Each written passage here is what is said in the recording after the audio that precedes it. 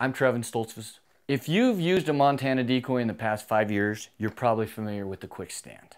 What the quick stand is going to do is allow you to set your decoy up and then it's going to add rigidity and one hand usage. So if you're moving through country, spotting and stalking, you can operate the decoy one hand and hold your bow in the other. I'm going to use the Trixie decoy. I've already put it together. And we're going to walk through how to utilize the quick stand. All right, directly out of the box, we're going to pull the quick stand out. You're going to notice right away that there is a spring, like a button, which allows us to adapt the length. So we want it to fit the exact same size of the legs. There's a hole.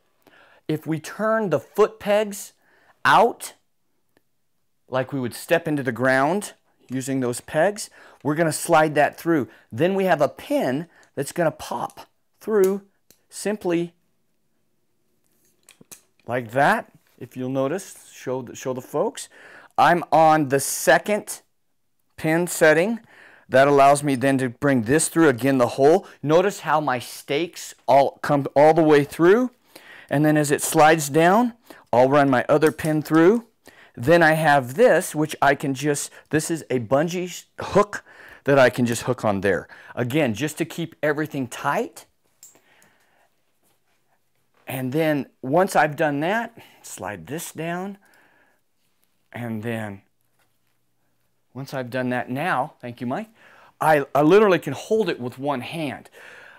Before, I would have stepped on, I'm going to show you where I would hold that right there, Mike. I would have stepped on this by itself into the ground. Now I can actually put my foot in the center and it pushes both down and I can manipulate it one-handed as I'm sneaking up or in a situation where I need to go put it up and then sneak back for cover, ground blind, whatever.